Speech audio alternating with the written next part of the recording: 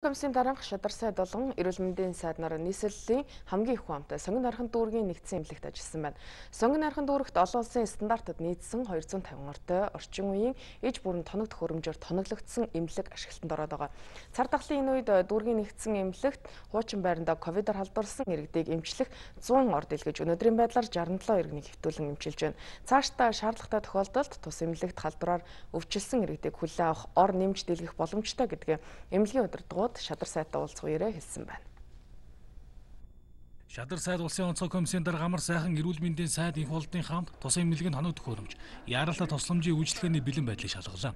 Сонгон найрхан дүүргийн эмнэлгийн тухайд амбулаторийн 27 кабинеттай, хэвтэн эмчүүлэх 7 тасагтай, мис засал, дурангийн хагалгаа хийх, хийм туяа зэрэг эмчилгээ хийх сүүлийн иж бүрэн хоног төхөөрөмжтэй юм а. Түүнчлэн дотор хөөхөд мис засал их барих эмэгтэйчүүд шүд мэдрэл халдварт өвчин зэрэг үндсэн 7 мэрэгжлийн тосломж үйлчлэгээ үзүүлэх боломжтой гэлээ. Цар тахлын үед эмнэлгүүдийн ачаал нэмэгдэж байгаа нь өвчтнүүдийг авах эмчлэх тал дээр нөөц бололцоо байгаа хэмээн эмнэлгийн удирдлагууд нь танилцуулсан юм а.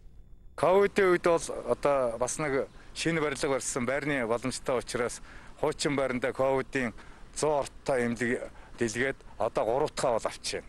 Одоо нэмээд шинэ эмнэлэг дээрээ дахиад 100 э, одоо орто ковидын эмнэлэг нээх гэж байна.